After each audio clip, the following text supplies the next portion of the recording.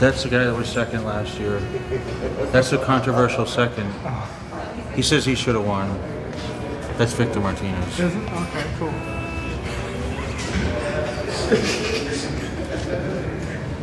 Oh, here comes, here comes, here comes the enemy.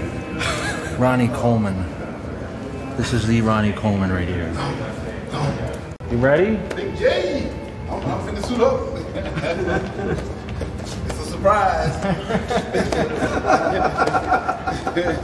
Ready to do it again? oh yeah. So this is the guy that I fought for A uh, couple years. not eight years.